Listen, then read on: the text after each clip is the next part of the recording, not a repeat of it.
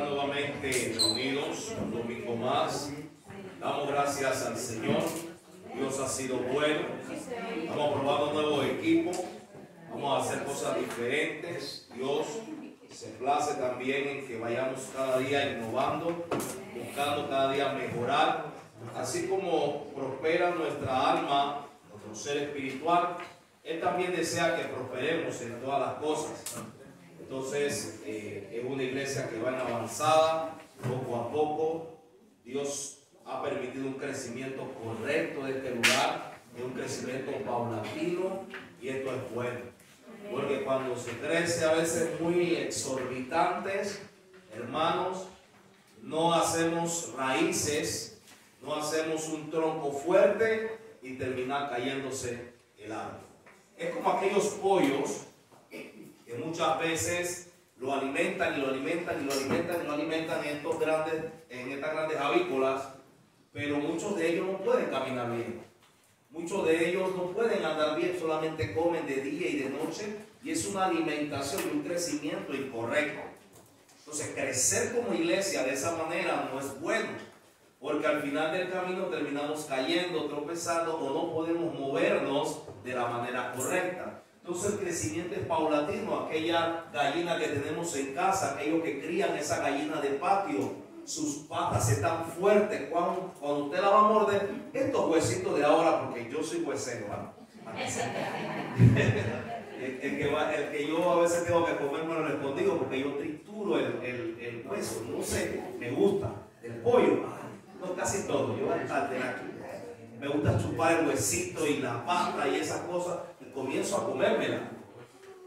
Entonces estoy raca, raca, raca y se quiebran suave.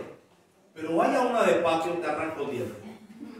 Porque están firmes, están duras, gallina dura. Y tú vas a comer y, y, sientes sabrosa, muy rica, pero la sientes fuerte. Entonces, así debe ser el crecimiento correcto de toda persona que vamos creciendo espiritualmente, fuertemente. No así que, que nos alimentamos y cuando vamos a ver, estamos débiles, estamos gordos, estamos que no podemos funcionar bien. Entonces, como iglesia, nosotros también tenemos ese crecimiento paulatino. Jesús dijo, cosas mayores harán. Entonces los discípulos hicieron cosas mayores y los otros han hecho cosas mayores. Hasta el día de hoy el Evangelio ha llegado y no ha cesado. Entonces vamos a crecer correctamente. Así que bendigo sus vidas.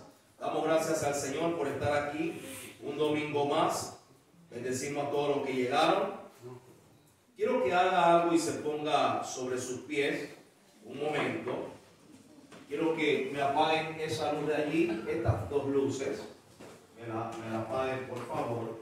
No hay problema, no, se ve mal el, el video allí. Todo bien. Que vamos a hacer algo diferente hoy. Quiero que se ponga sobre sus pies un segundo. Y quiero que cierre sus ojos no los abran. Cierren sus ojos un momento, todos. Vamos a cerrar los ojos. Ahora agarre a la persona que esté al lado, tómele la mano, pero con los ojos cerrados, no haga trampa, por favor. Ojos cerrados. Cierre sus ojos, no, pero en serio, esto es espiritual. Vamos a hacer un ejercicio espiritual. Ahora yo quiero que el que está en la esquina trate de salir de su asiento con los ojos cerrados. Veo gente con los ojos abiertos. Salga, salga de su asiento. Den un paso. No abran. Tiene los ojos abiertos. Cierra los ojos. Todos los ojos cerrados. Nadie abra sus ojos. Ahora traten de caminar. Traten de avanzar un poco. Son ojos cerrados. No abran sus ojos. Salgan de su asiento. Traten de caminar. Ahora, a la izquierda, todo a la izquierda. A, la derecha un poquito más. Hacia atrás un poquito. Eh, vamos, vamos, vamos. Así, no sus ojos. Vamos, un poquito más hacia adelante. No, cierren los ojos, vamos. Cierren sus ojos. Cierren. Ah, venga, venga, venga. Hermano Pati, está abriendo los ojos. Todos con los ojos cerrados. No hagan trampa. Ahora tienen que un poquito. Para atrás.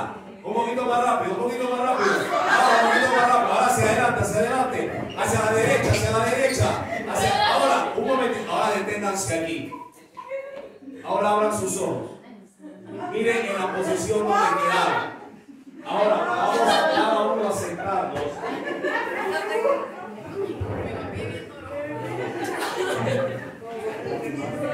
Decimos ese ejercicio.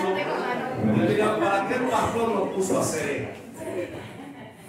Y se lo voy a explicar ahora más adelante. El domingo pasado hablamos sobre aquel hombre que, que había nacido ciego.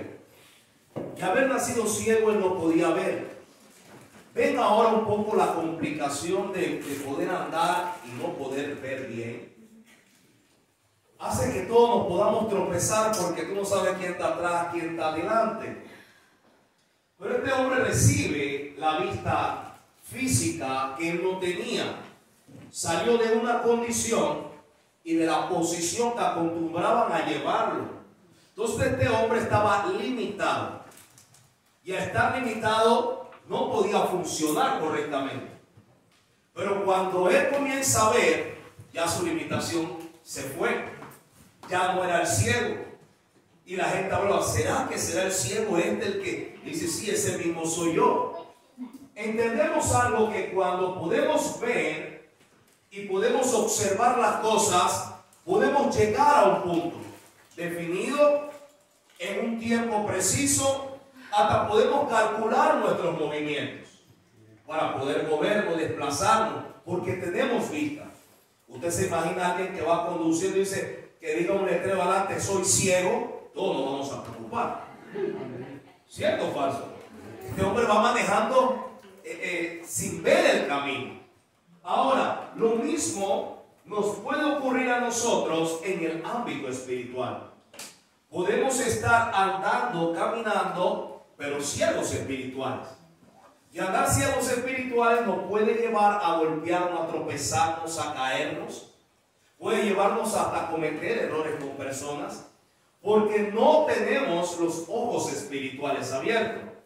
Entonces, esto pasaba muchas veces con las personas que no son, que no pueden ver. Andan con un bastón golpeando todo y a veces tropiezan cuando caminan por senderos nuevos. ¿Lo han visto? O muchas veces lo agarran y lo toman y lo llevan al lugar porque no pueden ver. Entonces, tener visión es muy importante. Pero aún tener la visión espiritual es aún mejor. Porque esta nos direcciona para una vida eterna, nos hace vivir correctamente aquí y nos hace movernos a la manera de Dios. Porque no andamos sin rumbo y sin dirección, sino que somos guiados a través del Señor porque nuestros sentidos y ojos espirituales están abiertos. Así como podemos tropezar, si como estábamos delante, todo el mundo caminando para atrás y confiando en uno de otro, no sé que se agarraran, porque usted se imagina a un ciego guiando a otro ciego, ¿dónde van a llegar? Vamos a caer. Entonces, la iglesia del Señor es una iglesia que tiene que tener visión. Nuestra vida no puede carecer de visión. Porque ¿cómo andaremos? ¿Qué haremos en el futuro? Entonces nuestra vida debe ser direccionada conforme a las metas, propósitos que podemos tener, familiares, intelectuales. Esto también se mueve en el vínculo personal. Tú le preguntas a alguien, ¿qué vas, va- qué vas a hacer hoy? Y dice, no sé, lo el viento me lleve. y podemos caer en esta situación de vivir una vida rutinaria, una vida que carece de visión, de propósito y de dirección. Pues Dios, a través de su palabra, y vamos a verlo ahora, siempre ha querido que el hombre tenga visión. Siempre ha querido que el hombre vea más allá. Siempre ha querido mostrarle al hombre lo que quiere hacer con él.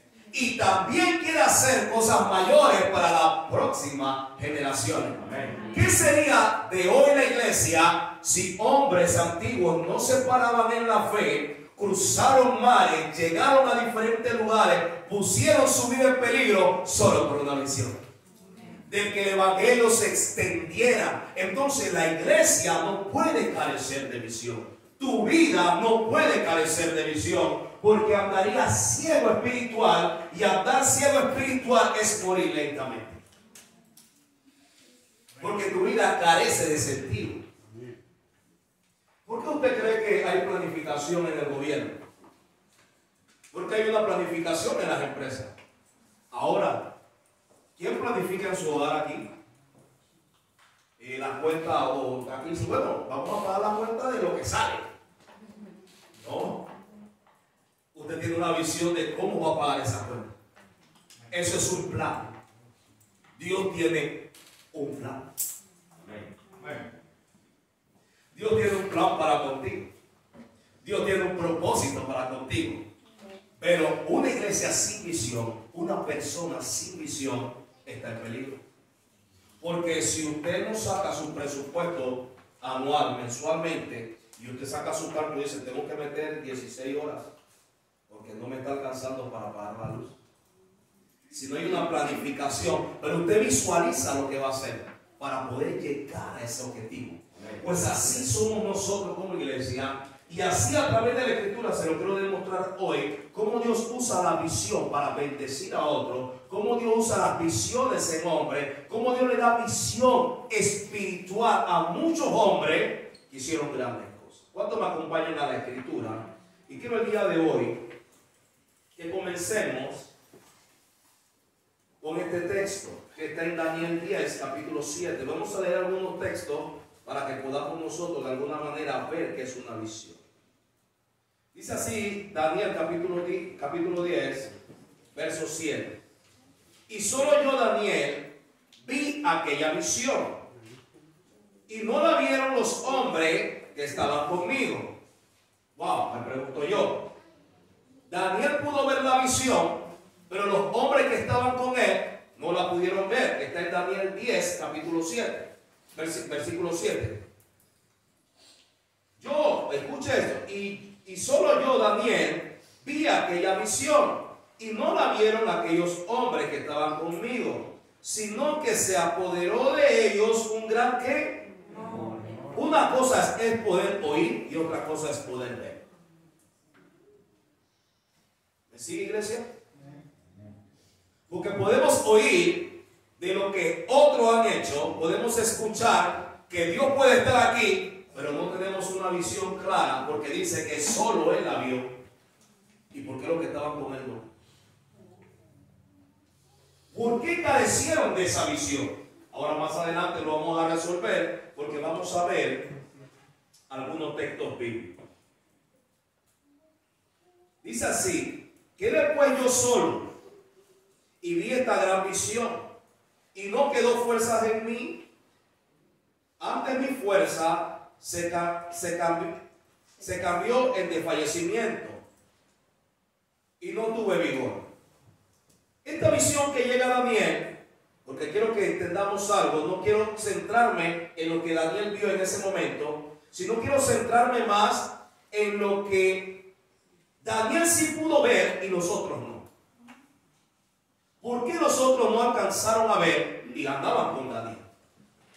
Ahora bien, quiero que también me acompañe a Hechos capítulo 9, verso del verso del 10 al 12. Hechos, capítulo 9, del 10 al 12. Solamente permítame llevarlos a donde quiero llevarlos. Permítame eso, vamos a buscarlo. Dice así, Hechos capítulo 10, si estoy viendo que estoy viendo mal y tengo los lentes aquí, estoy sin visión. Capítulo, Hechos 9, capítulo, verso 10 al 11, disculpe.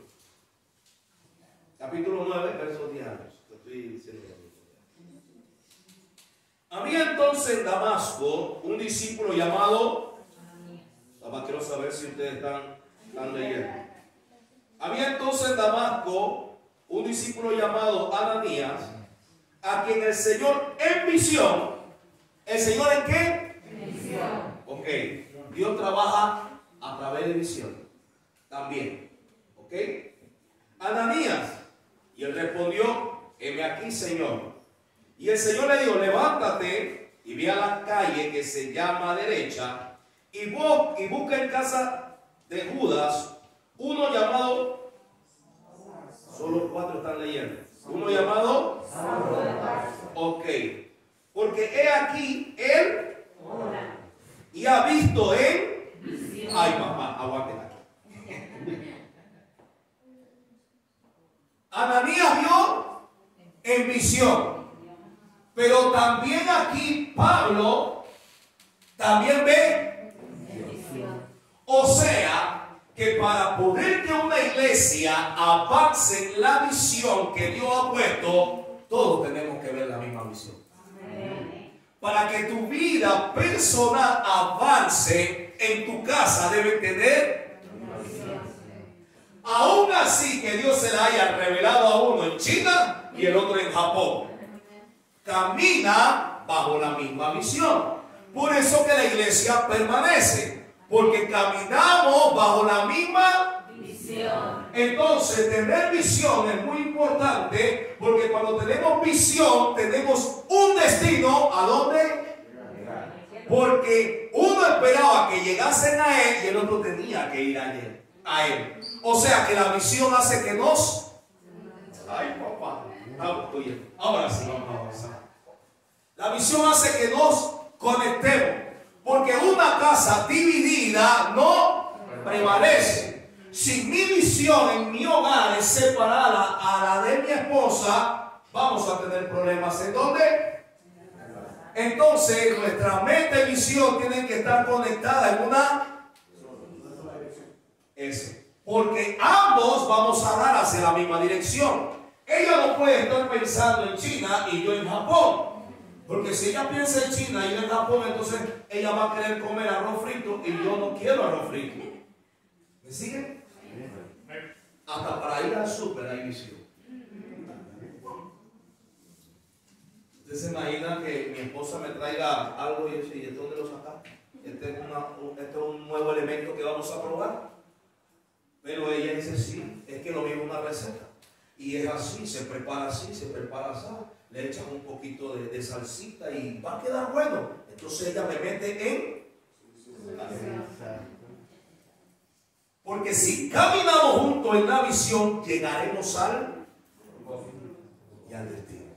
Ok. En este caso podemos ver que la visión fue revelada a ambos uno la esperaba y el otro se la había dado para que cumpliese lo que Dios había determinado hacer.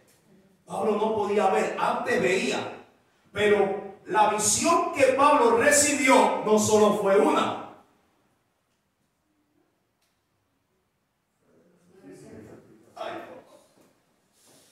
Cuando tenemos ambas visiones conectadas, vamos a triunfar. Amén.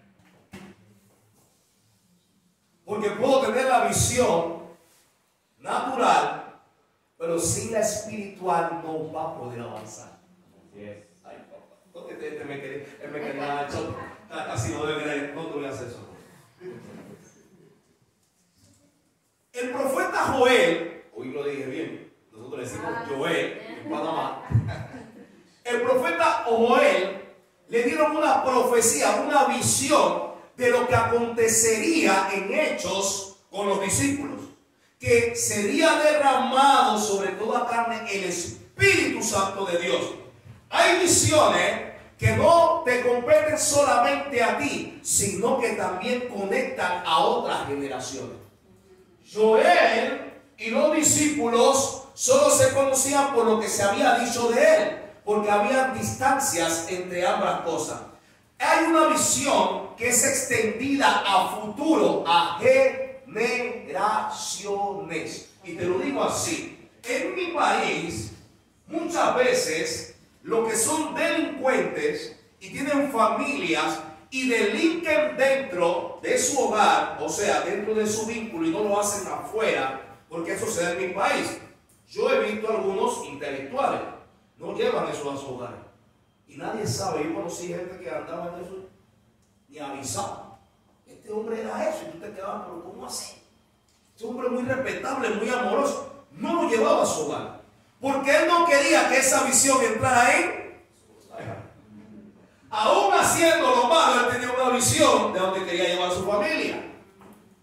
No la llevó a su hogar, pero sí también hay gente que no le importa fuma su marihuana, toma su droga, su cerveza delante de sus hijos y esa visión o esa vida es traspasada a ellos.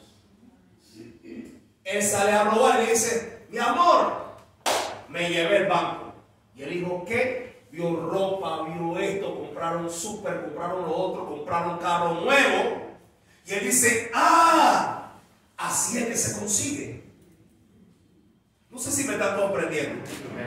Entonces, esta familia comienzan a delinquir, comienza a delinquir el hijo, comienza a delinquir el nieto, y eso trasciende de generación en generación. ¿Cierto o falso?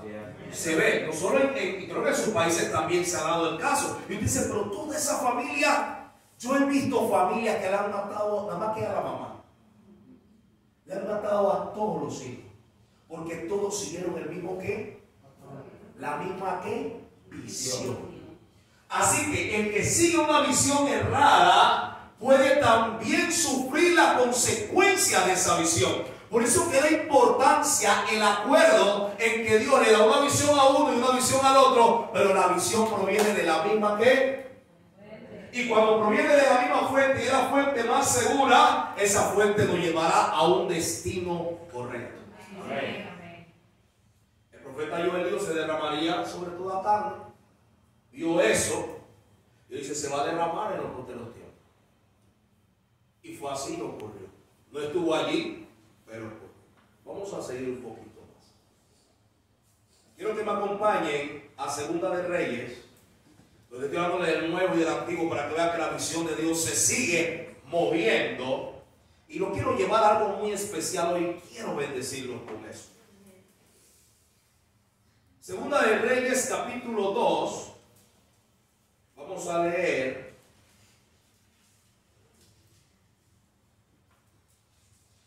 desde,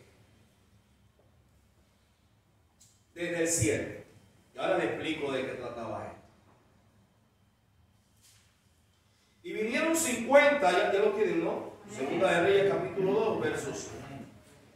Y vinieron 50 varones de los hijos de los profetas y se pararon delante y se pararon delante a lo lejos y ellos dos se pararon junto al Jordán. Habla de Elías y Eliseo, para que entendamos de lo que estamos hablando.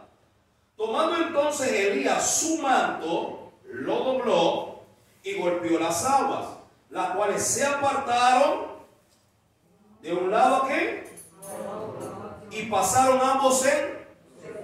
Esto me lleva a mí a imaginarme lo que ellos oyeron de Moisés y lo que oyeron de Josué. O sea que Vino Elías y golpeó con su mano, dice que las aguas de ese, de, ese lugar y pasaron el seno. ¿Y lo demás? ¿Y lo demás qué? Ok. Pasaron. Ahora vamos a seguir leyendo.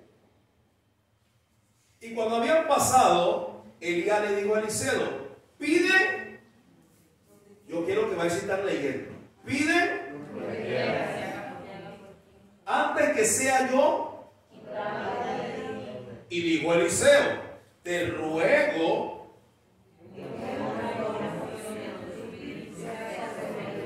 que una qué? Si quieres llegar más lejos, no observes a cualquiera.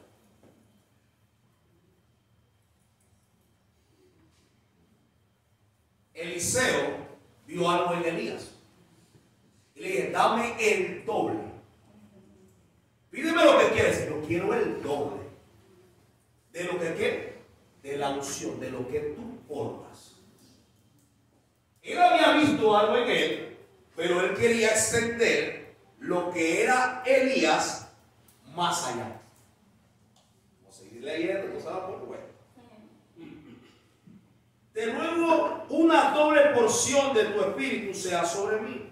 Y él le dijo, cosa difícil has pedido, que no es fácil, hermano, poder llevar un manto del Señor, hacer su obra, no solo en lo espiritual, en nuestros hogares, en los trabajos, en nuestra familia. No es fácil llevar ese manto, pero usted lo puede portar. Ahora vamos a leer, dice, y le digo, cosa difícil has pedido, si me vienes, si me qué, si me vienes yo no sé qué hay en la visión, qué hay en la vista, qué hay en el mirar, en lo natural y en lo espiritual. Porque, Escuchen esto. No sé si me, si me, si me están comprendiendo. Quiero saber si me están comprendiendo. El Eliseo pide algo espiritual, pide una visión espiritual. Yo quiero tener algo espiritual. Pero el profeta dice, pero si me... O sea que tenemos que caminar con ambas visiones. No puedo llegar al objetivo. Voy a retroceder un poquito. Saulo o Pablo no podía llegar hasta donde Ananías, porque estaba Pero Ananías sí podía llegar a donde Pablo, pero se le fue dada la visión espiritual a Ananías y llegó. Pero se le dio la visión espiritual a Saulo a Pablo, pero no podía porque le faltaban las la visión natural, la visión la vista. No sé si me están cantando. Para poder desarrollarnos y crecer, tenemos que tener ambas visiones.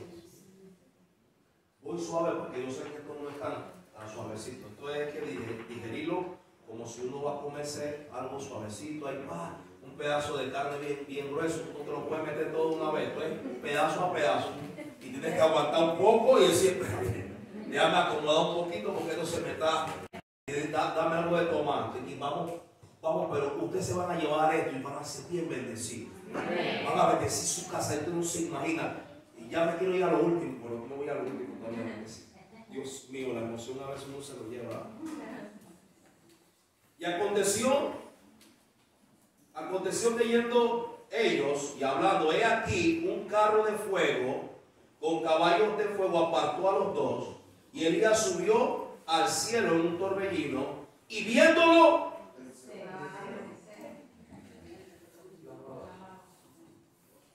cuando tú te conectas a lo que Dios te dijo y no le pierdes la pista, será tuyo. Porque te lo dijo en lo espiritual lo que quiere hacer contigo, pero tus ojos naturales tienen que verlo.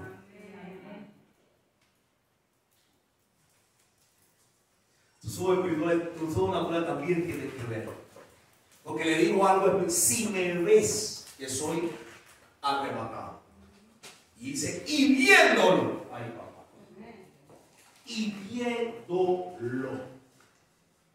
Este hombre Eliseo, wow. Voy a seguir un poquito más. Y tomando el manto de Elías, que se le había caído, ¿se le cayó qué? El manto. Habla de cobertura, habla de, lo que le había dicho, te voy a dar esto. Esta es mi cobertura, el manto de Elías. Y dice, mira lo que hizo. Golpeó las aguas y dijo, ¿dónde está Jehová, el Dios de Elías?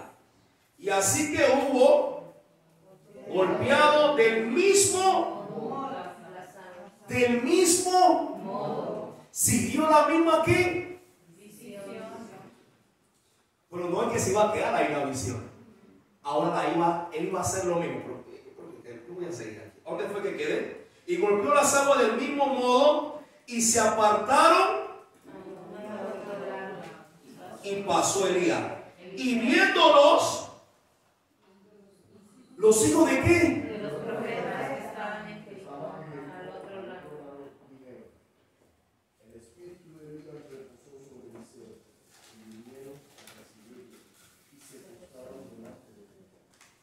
Quiero que entienda aquí. No quiero detenerme para leerle todo lo que dice el capítulo, pero lo puede leer en su casa. Este hombre continuó con la visión.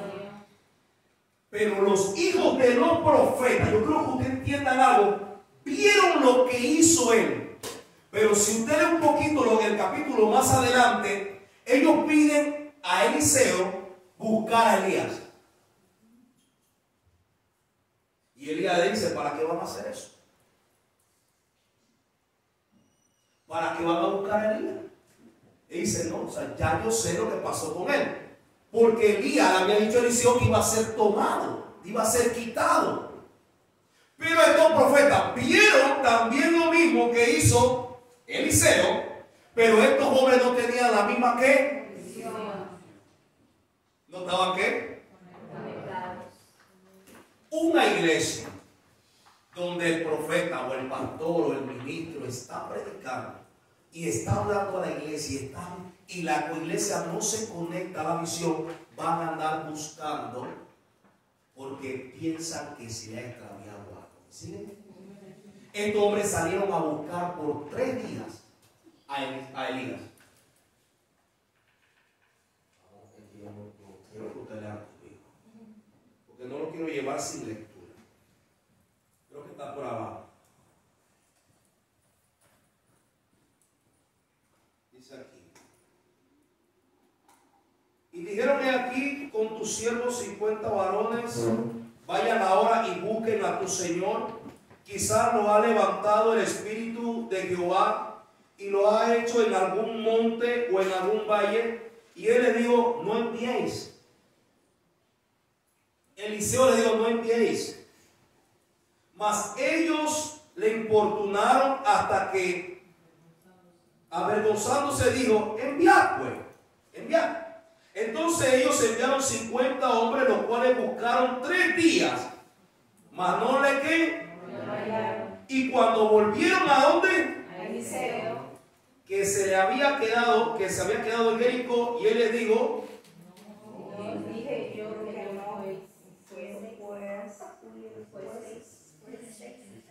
le dije que no fuese. No le dije que no se fuera. Eliseo estaba conectado a la visión y eran hijos de profetas y no estaban conectados. No entendieron la visión. Para poder, quise llevarlo a esto algo complejo porque a veces nuestra casa carece de eso. Nuestra familia, nuestro hogar interno carece de eso. Porque mi esposa tiene una visión y yo tengo otra. Yo le dije a mi, esposa, no es por ahí. Dios me ha dicho que no es por ahí. Por ahí dice, no, espérate, los hijos, los niños, todos aquí dicen que es por allá. No, no, amor, te digo que no es por ahí. Anda a ver, vaya.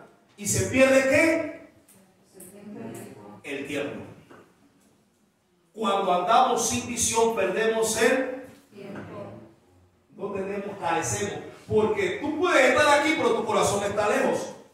Para poder agarrarte de la visión, tienes que desear la. Eliseo, la deseaba. Él sabía lo que quería.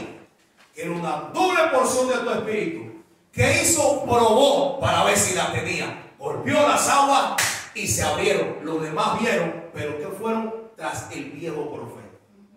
Cuando hay una visión que Dios quiere implantar y es nueva, tenemos que conectarnos a lo nuevo que Dios quiere hacer. La iglesia no puede avanzar sin que se aplique lo que Dios quiere hacer con lo nuevo. Dios tiene profeta, quita profeta, pone profeta. Dios me quitará a mí en algún momento, pondrá otro. Pero tienen que adaptarse a la, al manto que Dios le está colocando a esa persona. ¿Sí? Así es nuestra casa. Cuando somos cabeza del hogar, no para hacer lo que queramos, porque Eliseo no se va a ganar lo digo, vaya. Pasaron tres días, porque cuando Dios le da la autoridad al hombre en la casa y le dice, siento yo, Joan, que no debemos hacer.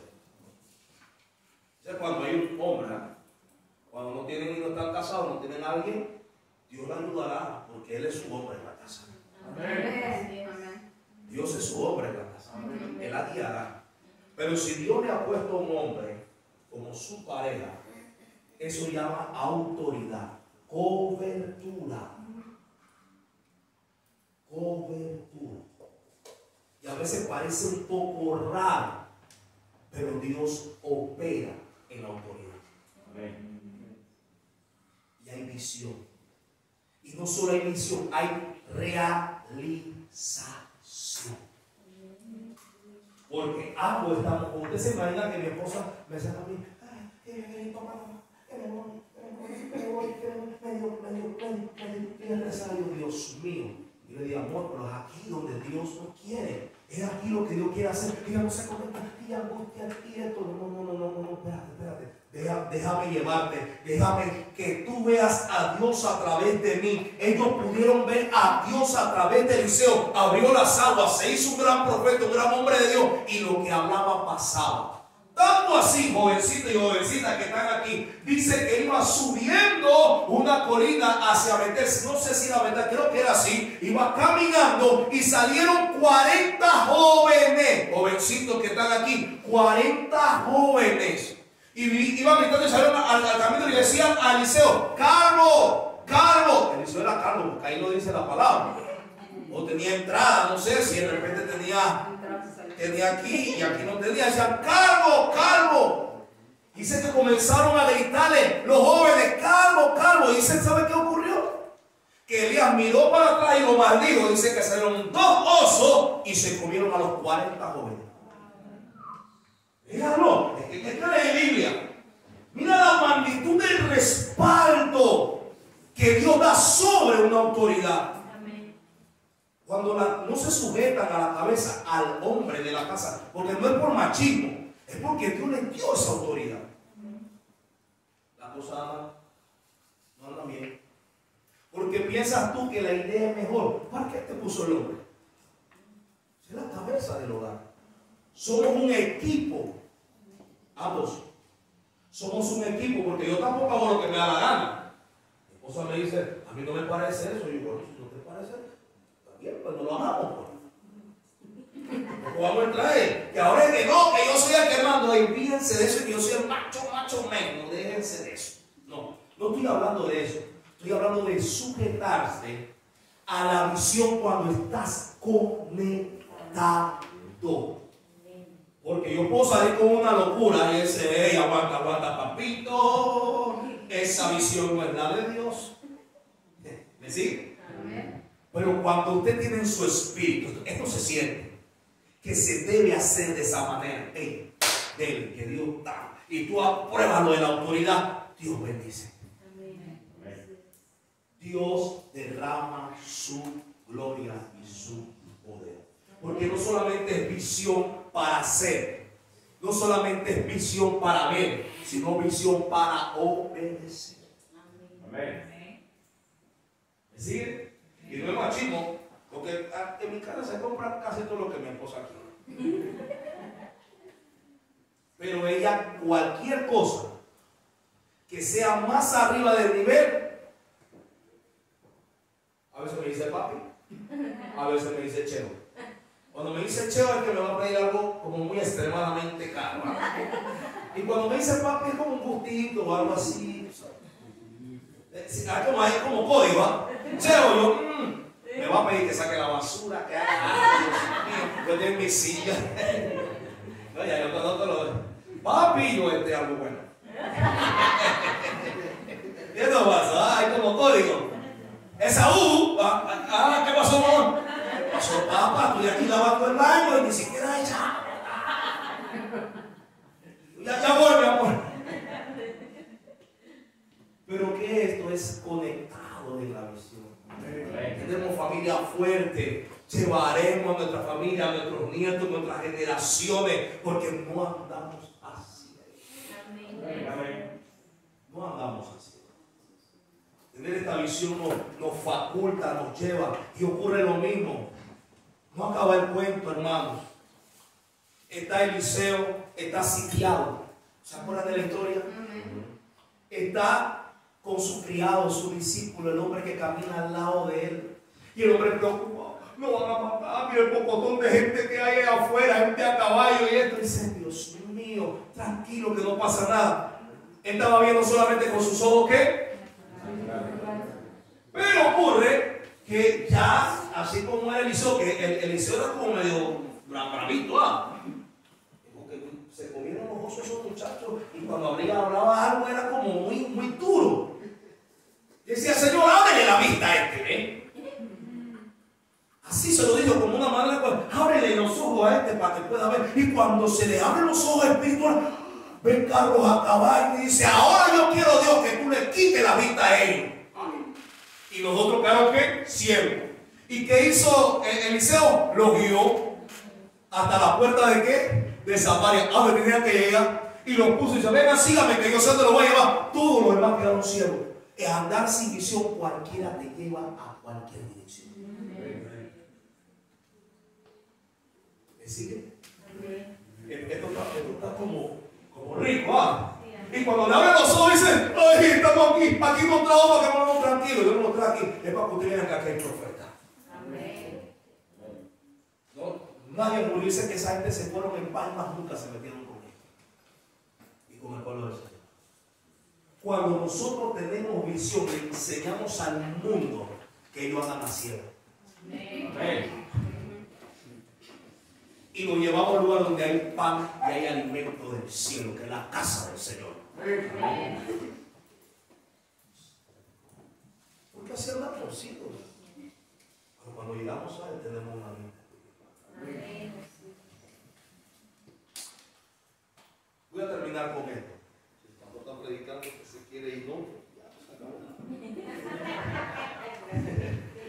Se acabó, vayan a disfrutar. Visión, tengan visión. Yo para qué lo voy a tener aquí una hora que no, que no, lo que Dios dijo, digo, caminen en la visión que Dios le ha puesto en sus hogares, en su casa, en su familia, lo que Dios ha dicho de ti, lo que Dios ha hablado de ti, hágalo. Con esto quiero terminar y cerrar.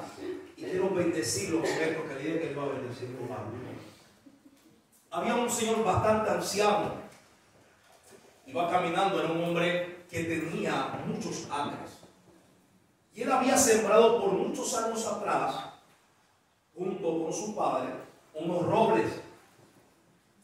Pero ese día iba uno de sus nietos, los más jóvenes que él tenía, iba caminando junto a él y estaban cortando todos los robles. Habían pasado 50 años, ya habían alcanzado la edad de maduración de corte de esos robles para dar una buena madera. El señor ya tenía como unos 89 años, cortan los robles, todo bien, cortaron los robles y entonces le dice a todos los que están ahí, preparen la tierra para sembrar más roble. Y el nieto que va con él caminando a su lado, le pregunta y le dice, hey, abuelo, ¿para qué siembras estos árboles? Si tú no lo vas a ver. Le dice, no, estos que estoy sembrando hoy no son para mí, son para la futura generación. A veces no sabemos lo que hacemos hoy pero esto va a repercutir de una manera especial para la próxima generación. Yo creo en eso. Yo creo en eso. Él de repente no lo verá crecer ni lo va a cortar, pero la próxima generación lo hará. Hagamos familias fuertes, con visión. Tengan visión en el hogar.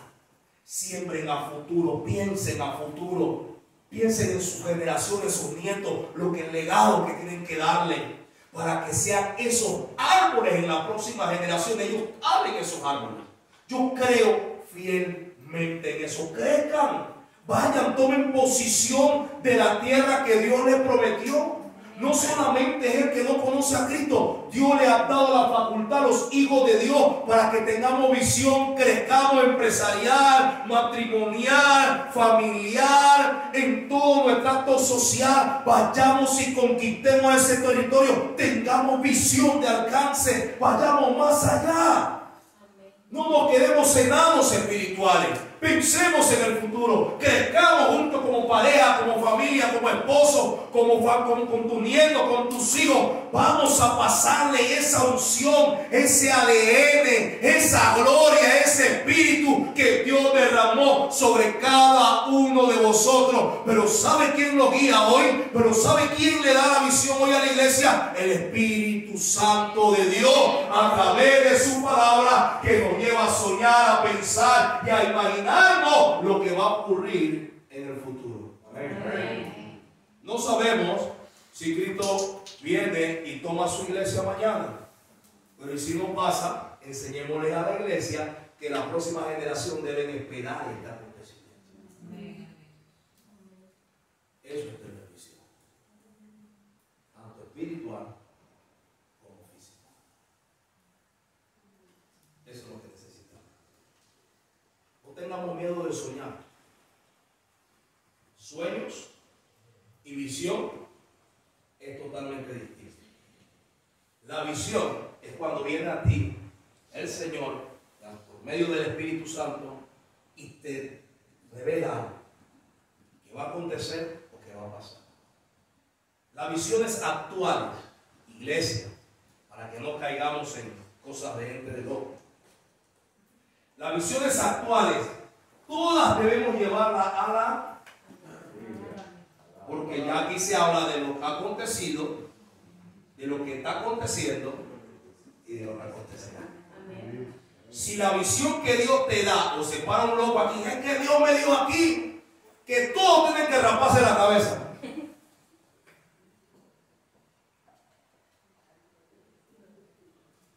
¿Cómo es el que sale por ahí?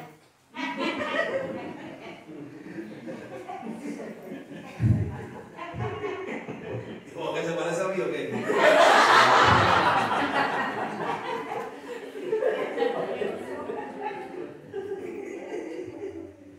Ay, yo sé que se imaginan ustedes, ustedes tienen que orar más.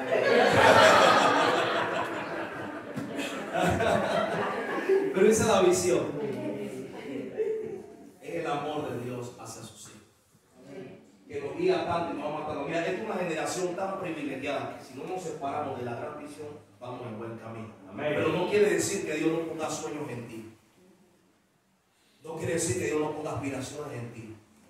Porque de repente te quieres ser un gran empresario, pero no solo para ti, sino que tienes preparado un acontecimiento que tú vas a financiar varias iglesias en diferentes países. Pero me niego a esa visión y no la camino, porque mis ojos espirituales están disparados por otro lado y mis ojos naturales de igual manera. Caminar en la visión, bendición. Amén. Caminar en la visión, alcanzamos generación. Y no importa si hoy estás sembrando algo que no veas en el futuro, pero las próximas generaciones sí lo verán. Eso es tener visión espiritual y física.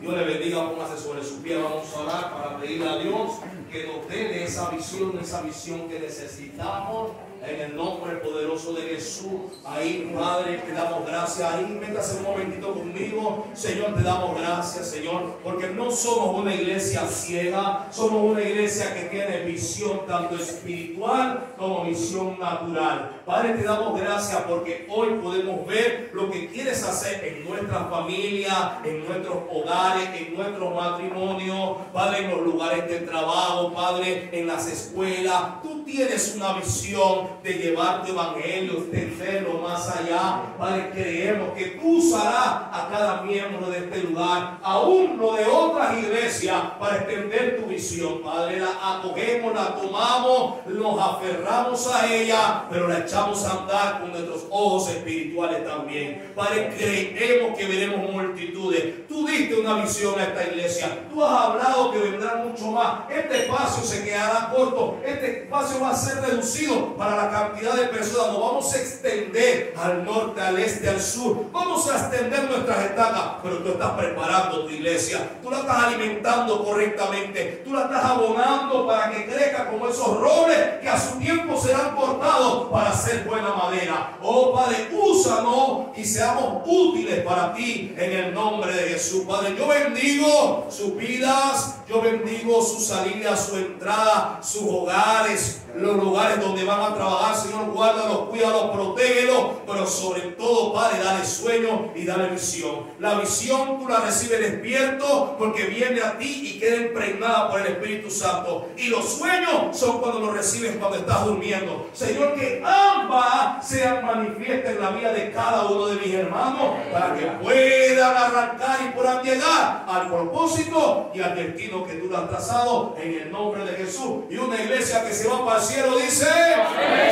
somos bendecidos.